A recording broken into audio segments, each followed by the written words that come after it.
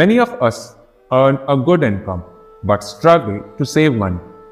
Often, people complain to each other that despite earning a lot, money does not stay in their hands.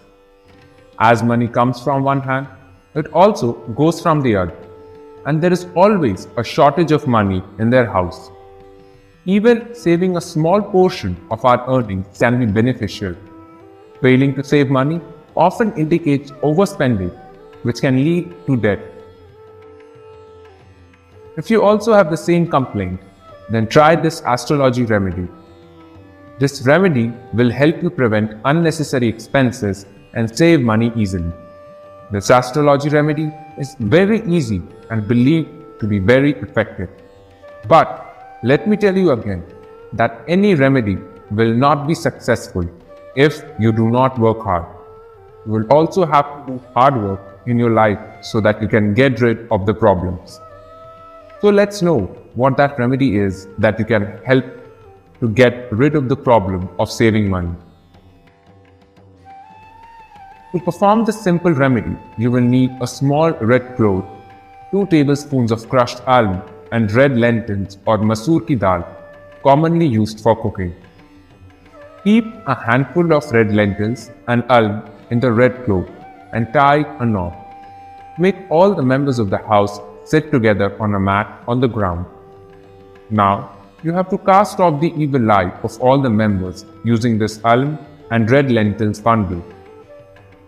Take this alum and red lentils bundle and wave it three times over the head of family members in an anti-clockwise direction.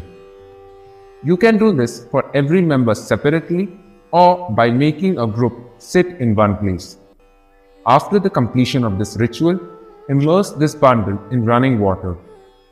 If you are performing this ritual in the evening, then after performing it, keep the bundle in any corner of the house and immerse it in the running water or leave it under any big tree next to it.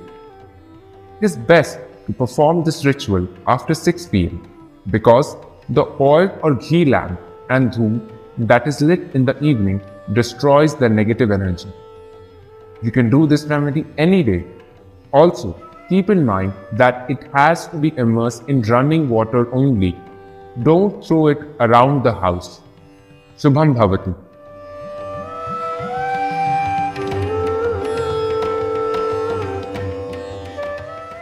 That is all for today. If you like the video and to see more interesting videos in future, please hit like button and subscribe to our channel and hit bell icon and share the video with your friends. Stay healthy, stay fit. God bless you.